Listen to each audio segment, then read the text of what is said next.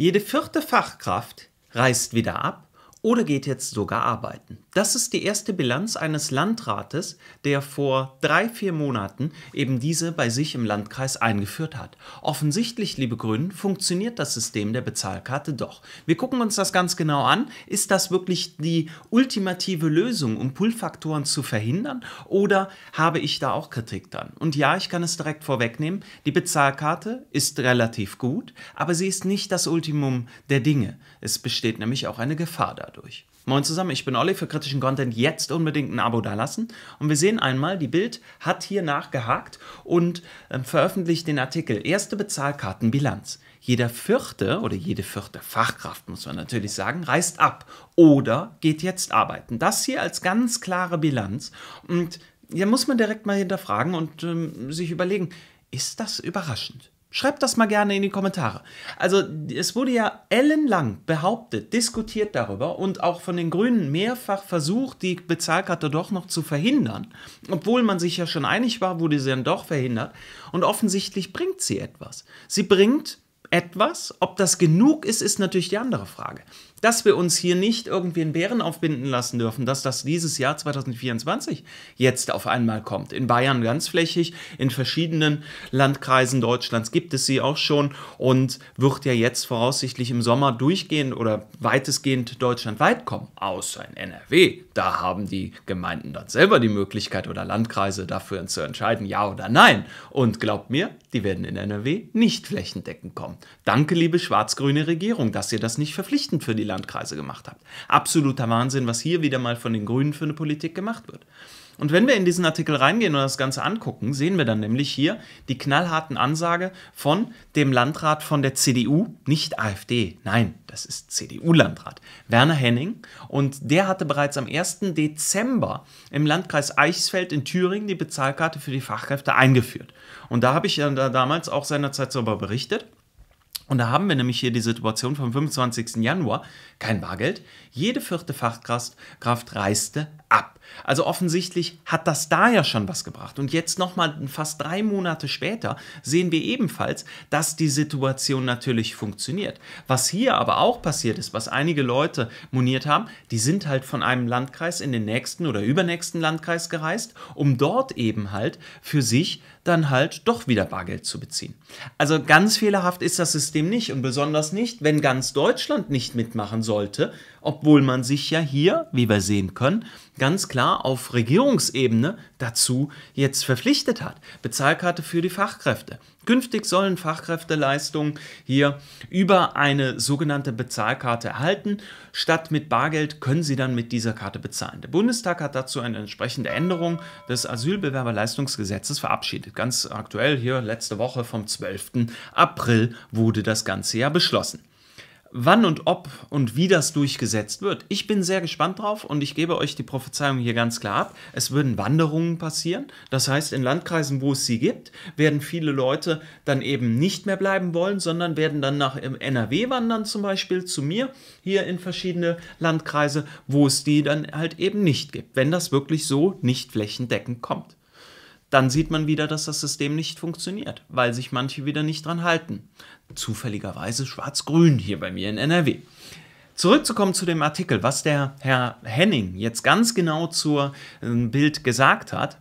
Es geht hier gerade mal, das ist ja eine kleine Zahl, das ist ja ein einziger Landkreis, muss man ja dazu sagen, aber man sieht ja, was das für eine Wirkung haben kann, was das immer ausmacht.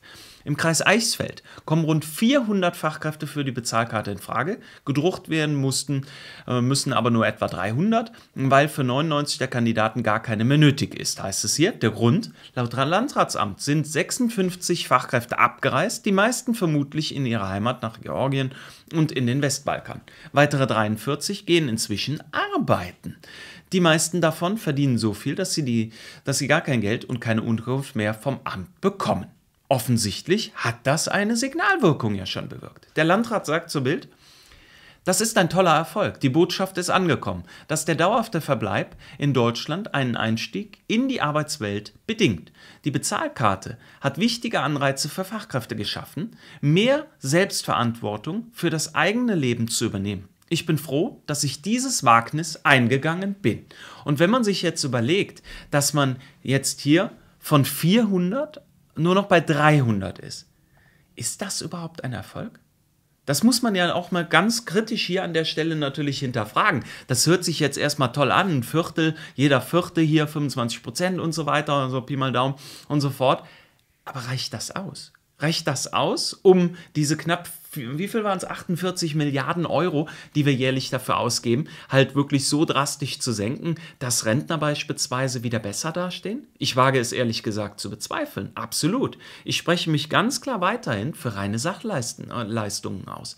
Denn die können nicht hintergangen und betrogen werden. Denn man muss ja hierzu wissen, die Bezahlkarte, es klingt jetzt total dramatisch und schlimm für manch einen, so die Grünen, die ja hier eine Zweiklassengesellschaft vermutet haben, weil man das ja sehen würde, dass der mit einer Bezahlkarte dann an der Kasse bezahlen würde, der Betroffene und so weiter. Ich sehe das wirklich gänzlich anders. Ich sehe dieses System noch gar nicht komplett ausgereift. Denn wenn wir nochmal zurückgehen auf den Artikel vom Januar, sehen wir ja, was das eigentlich bedeutet, das Prinzip dahinter. Wer arbeitet aber so wenig verdient, dass er trotzdem noch Anspruch auf Geld vom Amt hat, erhält die Aufsteckung komplett im Bar ausgezahlt. Wer nicht arbeitet, bekommt von seiner Gesamtzuwendung im Schnitt 460 Euro. Das hat nichts mit dem Wohnen, mit der Reinigung der Wohnung zu tun und sonstigen Verpflichtungen oder ja, Essentes, also Unterstützungsleistungen und sonst was. Nein, nein, das ist reines Taschengeld.